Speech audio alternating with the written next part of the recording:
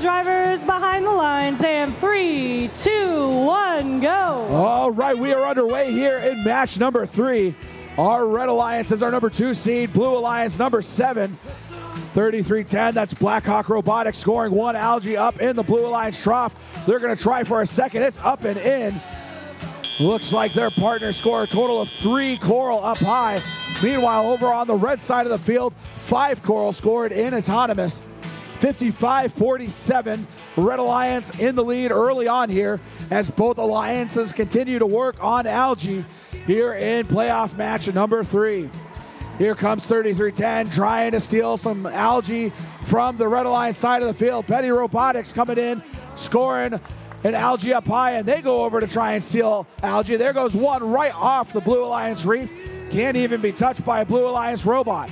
Meanwhile, Blackhawk Robotics going over, grabbing an algae, drawing a foul in the process. Didn't see Chips hiding there behind the reef. 112 to 68. Just over 90 seconds left to go here in match number three.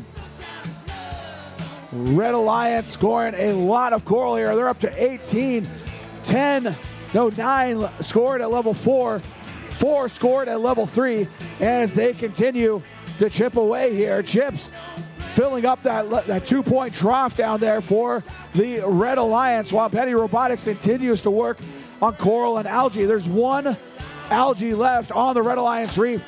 The Blue Alliance side of the field completely devoid of algae right now, but Red Alliance with a very commanding 170 to 114 lead with under a minute left to go. Red now up to 32 pieces of coral scored here in match number three. Here comes Ranger Robotics, scoring one at level four. A lot of level four coral left to be scored, which means a lot can happen to that Blue Alliance score. It can climb very quickly here as we enter the final 35 seconds of match number three. 200 to 151. Our number two seed in the lead right now, Peddie Robotics, scoring another algae up high. That's now eight pieces of algae up there in the Red Alliance barge. Scored 11, stealing several from the red side of the field.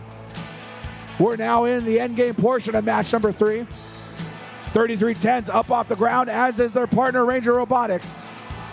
One red robot, two red robots. Can we get a third blue robot? Yes, we do. There goes 3674. Peddie Robotics not off the ground as time expires on match number three. On top, 250 to 200. Our Red Alliance moving on. They will next play in match number eight. Blue Alliance moving into the lower bracket now. They will next play in match number six.